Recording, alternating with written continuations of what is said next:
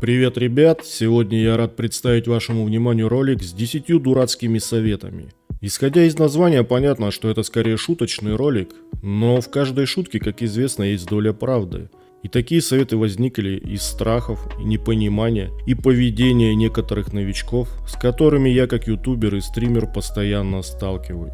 Поэтому, кроме того, что вы получите заряд позитива и хорошего настроения от просмотра данного ролика, я думаю, что вы, мои дорогие новички, и не только новички, поймете, как по сути делать в игре The Elder Scrolls Online не надо. То есть, другими словами, эти 10 дурацких советов – это гайд, как поступать не надо, и, соответственно, намек на то, как нужно делать правильно. Прежде чем мы приступим, я прошу вас подписываться на канал, если ролик вам понравился. Это делать нужно по двум причинам. Во-первых, на канале уже есть большое количество видео с полезными советами по игре Тессо, а во-вторых, вы поддержите меня и не пропустите новые ролики, которые выходят здесь регулярно. А также не забывайте ставить лайки или дизлайки и писать комментарии. Заранее всем спасибо, а мы начинаем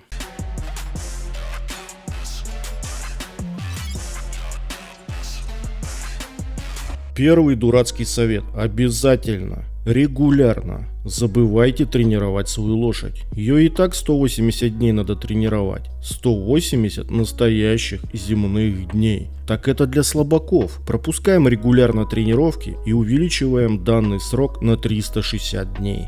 Фродо, прости. А следующий совет прямиком от создателя таких бестселлеров, как «Я познал дзен, проживая в подворотнях Тамриэля» и «Кризис эпохи потребления в Нирне» от главного бомжа и бессребреника Тесо, который пожелал остаться инкогнито. Совет звучит так. Никогда и ни при каких обстоятельствах не занимайтесь крафтовыми дейликами. Деньги развращают.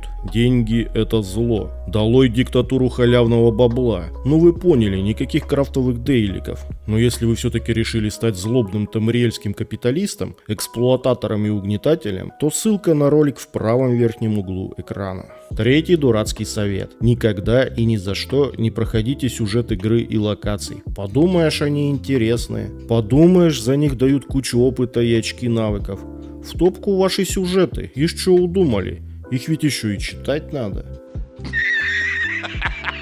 Четвертое. Отправляясь в данжи, помните золотое правило. Всегда неправильно выбирайте свою роль в данже. И затем в подземелье не соответствуйте ей во что бы то ни стало. Особенно делайте так, если вы дамагер с нулевым ДПС. По крайней мере, сможете аргументированно и внятно объяснить, почему вы танк. Делаете морду топором и заявляете. У танка нет дамага. У меня тоже. Значит я танк. Л. Логика. Замечательно. Поразительно. Гениально! Данным советом со мной поделился, если что, на минуточку, единственный обладатель ачивки за 10 тысяч раз быть выпнутым из данжа за несоответствие роли. Пятый совет. Никогда даже под страхом смерти не вступайте в гильдии. Я сейчас, если что, не про гильдию магов или бойцов, а про те сообщества, которые создаются живыми игроками. Пофиг вам на то, что там всегда можно спросить, если что не понимаешь или не знаешь. Фиолетово вам, что там можно гораздо проще найти пати для совместного освоения контента. Да лампочки, что вы получите доступ к крафтовым зонам, если гильдия большая и старая. Короче, гильдии это для неудачников. Не повторяйте ошибок слабаков, не вступайте в 5 гильдий сразу. Нет.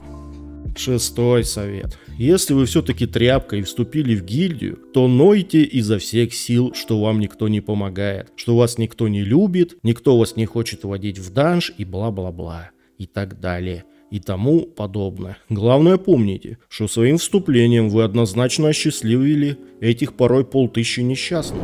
Сидели они такие и не знали чем заняться, и как вообще жить, и смысла в жизни не было, и тут хобаце нарисовались вы. Как говорится, хрен сотрешь. И все такие сразу, о, слава девяти, явился ты наш, любимый новичок, и ради тебя мы отложим все свои дела и будем заниматься только тобой.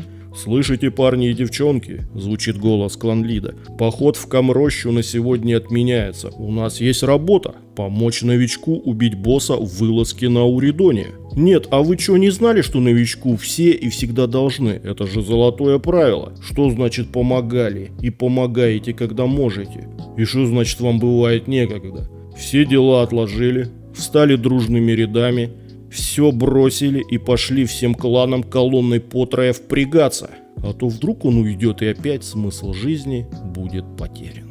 Совет седьмой. Никогда, слышите, никогда. Не смотрите гайды, не спрашивайте стримеров, не общайтесь с членами сообществ, только боль и страдания, только познание дзен через личный персональный ад, усыпанный даэдрическими граблями.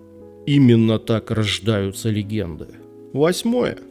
Несмотря на личные добровольные страдания из Совета 7, в Совете 8 я настоятельно рекомендую бояться испортить свой билд и персонажа. Не слушайте никого, что запороть перса в ТЕСО невозможно, что всегда можно переспекать и сделать из перса кого хочешь. Эти советчики просто хотят посмотреть на ваши боль и страдания, когда вы поймете, что последние два дня вы качали перса неправильно. Вот же нубаса. Совет 9. Никто не отменял золотого правила, что наглость и токсичность – это второе счастье.